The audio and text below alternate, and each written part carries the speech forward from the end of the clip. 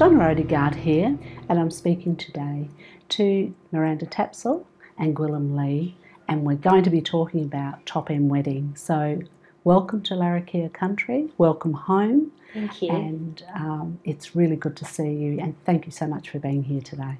Thanks for having us. Thanks for having us. Now, Miranda, I'd like to um, just start with you to say um, I was at the premiere last night, the Darwin premiere, and uh, you know both yourself and and Gwilym were welcomed, and I must say that everybody wanted uh, a piece of you, not just because of the sensational new movie. Uh, but just to see you uh, and your faces, and a lot of our people who've come from so far and wide to actually be there last night. Uh, firstly, Miranda, what, what did you think of it? Oh, uh, I was incredibly proud to be back home. I mean, my cousin Mary did Welcome to Country, so I was very, very touched by that. Um, in fact, I think that was sort of what got me going. I was, as soon as I'd stepped out, I was just like, oh, where do I even begin because um, I have no words to describe how proud I am to to uh, have been born on my grandmother's, my great grandmother's um, ancestral lands. It always grounds me when I come back home, and uh, I think I really just wanted to be honest with that in the film. So, Gwilym, can I ask you, how has this been for you coming to Darwin and actually seeing, you know, being immersed in, in our culture as well to mm. a certain extent? How, how did you feel about that? Yeah, well, it was, um, it's amazing. It's amazing. I mean, in, in many ways, coming here, yes, they felt like a little bit of a homecoming for us as well. Um, you know, because although we were only here for a brief period of time, we were so welcomed by the people here uh, that it really felt like coming home a little bit. But um, this whole experience has just been fascinating. I, I, didn't know a huge amount about like the history and culture of this country until I kind of took on this this project, and then I saw it as my responsibility to try and school myself a little bit before before coming here and taking on this this, uh, really this well. story. Yeah, yeah, because and I just really kind of um, appreciate that uh, idea of. Um, respecting like the, the, the place that you're in like uh, you know I come from a I live in a big city, London, and it's very easy to just kind of pass through life without really considering like where you are and like the stories that have kind of like preceded you in that place. And I've been really touched by like that kind of uh, history and culture and tradition. It's really important. So coming together for this project, as you say, I mean, top end wedding. I mean, it immediately evokes for everyone in Australia, and I travel widely it, it tells you where the location is, and we expect uh, humour and, mm. and also, you know, real human stories. So, uh, Miranda, what was it like actually first, you know, the concept and then looking at how this was actually uh, panning out for you? I, I, did feel a great deal of responsibility of, of making sure that. Um, that uh, the territory territory was represented in a in a really sort of um, uh, kind and thoughtful way. Um, I wanted to make sure that I punched up when I um, represented the, the people of the Northern Territory. Um, but one thing that always stayed with me, like when we wrapped, um, a lot of artists talk about getting those those um, like the post show blues like you sort of you sort of go oh, I've I've I've built all of these sort of intimate relationships in a in a really fast amount of time and now um, that's finished that like everyone's got to wipe a project away like a sand mandala like the Buddhists do and um, and it was heightened for this because it obviously meant so much to me. But um, it was lovely. It, what really stayed with me was that um, someone in the crew just sort of reminded me, like, um, remember, like, Gwilym is going to go back to the other side of the world and he's not going to be able to de- de- describe the feeling that he had when he was here. Um, um, he, like, because that, like, this part of the world just hasn't been presented to, um, to the people of London or to the people in the US, but it, it has now because of Sundance, you know. Absolutely. And uh, you know, you are uh, in your own right uh, a bit of a uh, global sensation uh, for what the work that you've done as well. And and look, Miranda, um, you know you, your wonderful career thus far speaks for itself. Um, how has it been coming together uh, from those different backgrounds? I know that you know it's the industry or the profession that you're in, but for you, Gwilym, uh, do you are you seeing through different eyes?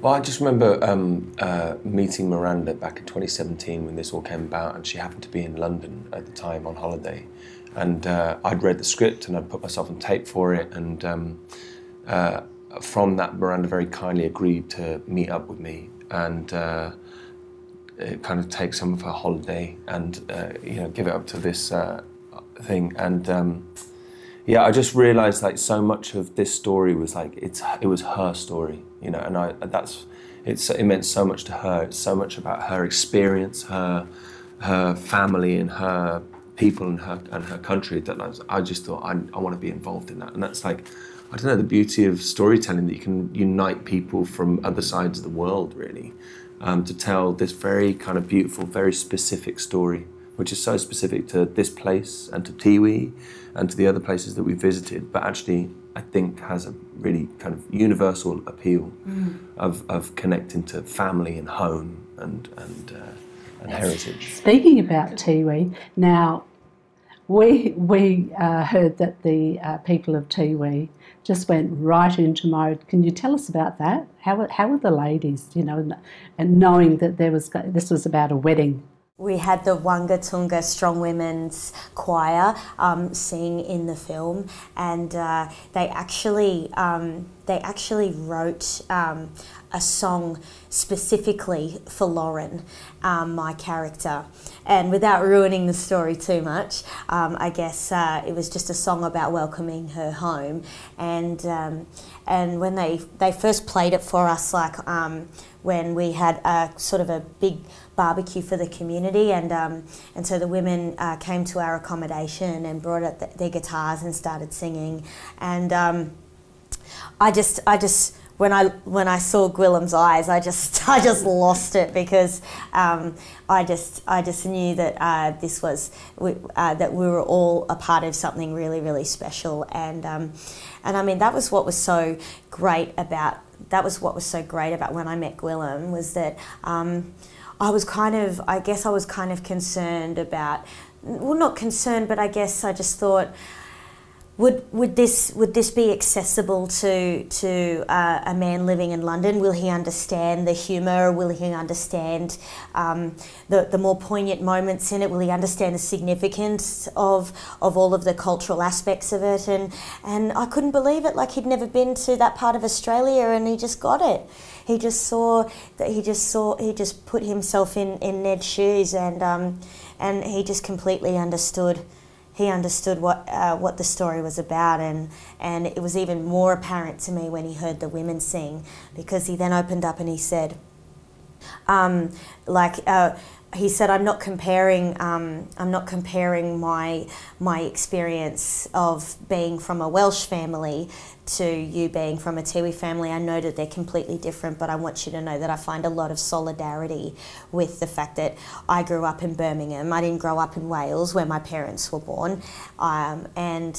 I and I and when just watching these women sing, um, they sung from their heart, and that's how I feel when I'm with my own countrymen, and the, and they're in a pub singing in Welsh. That's wonderful. and you know that speaking from the heart is a big thing. Mm. And that's what comes through. Mm. This is a wonderful production in that it is linking us from across the world. Mm-hmm. Um, yeah. Did you feel that? Absolutely. Yeah, yeah. And you're quite right. It's like, um, you know, everyone's got their version of home and of family and of belonging. And in this story, it's about Tiwi, and you know, it's about this part of the world. But you know, for me, it was about I, I, I recognised that it was about I could relate to my Welsh heritage, and I think you know we've taken this film to America, to uh, Sundance, and to New York, and everyone's got their version of what that means to connect to to home and family, and I think. Um, the fact that you've made it so specific to your experience means that it can have a more universal uh, appeal. I think if you'd have tried to uh, appeal to a wide audience and written for everybody, it might not have had such a universal appeal. But because it's so personal, it's so real and authentic, I think everyone can connect to it. and that does come across. I have to say. I mean, it was, and and even before, you know, we we got to see the movie itself, um, the reality, uh, you know, I you know I said to. Uh, uh, one of the ladies there, Larrakia ladies, I said, "Oh my goodness, you know this, you know this is about us. Yeah. You know, Miranda's actually brought us into this uh, for this celebration. So there was a lot of there was a lot of love in that reception. Um, did you feel that? Well, I was um, I was like I was sitting with um, I was sitting with my mum and my auntie and um, James, my husband, and and. Um, and, and Gwilym was there with his partner, and I was just thinking to myself, like I was looking around, thinking, what are what are people? I was like, I guess I was over I was over analyzing it, but um, uh, James was just saying, you've got to remember that this is the first time you've presented. Like it's one thing to be living here in Darwin, but it's another thing to see it on. So uh, everyone was just kind of absorbing it and going, "Oh wow, this is." like this is immortalized in in film now so and um and i and um yeah that didn't really kind of sink in until um, I've just been thinking about all the logistics along the way. I haven't been sort of present with the significance of what that means to people, and I think it was. I think it really hit home when I was when the credits rolled, and I was like, "Oh, wow! This is what you know. This is what um, this is what I was hoping for." Sorry. We, I think we were all starstruck as well because uh, the antip- anticipation of, of seeing you both on the on that red carpet and and uh, seeing Rachel, our very own Rachel Yes. uh, who, uh, Chisholm, who Yeah, who's yeah. one of our broadcasters and has, has gone such a long way. And worked so hard on the film. She worked was, so she was hard on the film. Yeah. Yeah. Yes, and uh, to see so many of us being transformed because of this beautiful film. Ah. You know, so you know, I, I can, you know, wholeheartedly say, you know, on behalf of the community of Darwin and Larrakia and, and beyond, you know, this is wonderful, wonderful tribute as well. Oh, thank you so know. much. So, so the storyline, everything, we can, we feel as though we have a piece of that. Oh, absolutely, and that's and that's what I wanted. I wanted I wanted people to take ownership of this, and um, and I I didn't do this like I and I'm so grateful that I didn't do this alone. Like um, we had Wayne Blair, we had um, a really wonderful cinematographer Murray Lui, who's a Torres Strait Islander man, who's uh, filmed in who's filmed on Tiwi and throughout the territory many times. Um, this was his first um, this was his first feature, and um, one one thing that really stayed with me when he was up here filming was like we were on Jawoyn country in Katherine Gorge, and um, he was telling me, "Oh, sis, like." Um, uh, the light is bouncing off the escarpment and onto you and, is lighting you really well. So if you tilt, like if you're if you face this way, then you're this is you're going to look great, you know. And um, so uh, like it was just so great. I was like, oh wow, this is proper like Indigenous filmmaking. They're using like people are reading the land and going, okay, well this is how we're going to do it. We're not going to try and fight that with um, with all the equipment. We're just we're just going to use it for the way it's presented to us. And, and this kind of, you know, we can call it narrative or you can uh, putting a, put a cultural lens over things. But this is how I'm seeing uh, so many different um, uh, things that we've been looking at in, in developing North Australia with scientists. They're going with, okay, local knowledge, Indigenous knowledge. And this, this actually just puts so much more value, uh, in my view, Oh, to, to what you. you're doing. What you've done is, you know, is probably much more than what you realise. Uh, you know, brought to to Darwin. Uh, this is how Darwin has come together um, to uh, to welcome you, to say thank you for giving this, giving us this wonderful experience, uh, to meet you, and to to greet you back again. And uh, we hope that uh, you know you have continued success and bring some more homegrown, beautiful movies and productions to Darwin. This is this is our dream uh, for the top end for Darwin and right across the top end of Australia. So I'd like to uh, thank you on behalf of uh, Aboriginal Broadcasting Australia for coming here. And uh, if there's any last messages, uh, Miranda, would you like to say anything uh, to those who will be watching? Because we're not just going to be broadcasting in Darwin, this is going national and also international. Oh yes, well I'd obviously like to thank the the traditional owners that uh, that on whose land we all filmed on. Um, so obviously I mentioned the Jawoyn before, but there's also the Mirarr in Kakadu, and there's also um, uh, the Larrakia, and of course not forgetting the Larrakia, but and and, and definitely the Tiwi. So. Um, And everyone absolutely got behind um, the film 100% because it was there to celebrate them, it was there to celebrate their country. So um, I think uh, what what I really encourage in uh, Australian filmmakers, not just Indigenous filmmakers, but all the filmmakers, when you bring um, Indigenous people into the conversation, it just it just makes and with this film the the film sang because we had uh, we had uh, the traditional owners to ground us in their knowledge and it's very apparent in the film so um, I think that's something important for lots of uh, Australian filmmakers to note. That's wonderful. And Gwilym. Well, I, I just think like the beauty of this story is like, uh, you know, stories have brought us together telling a story has brought so many different people together on this project yeah. and, and uh, united us all from different from far corners of the world. So um, I think, uh, yeah, I would say find what you you feel passionate about, find what you want to talk about and share, and tell your stories, and uh, don't let them kind of disappear. It's a wonderful message and let's keep the humour in things as yeah, well. Thank yeah, you so absolutely. much. Your, thank you uh, so much. Words. That's yeah. so kind. Thank you. It's a pleasure having you here. Thank you.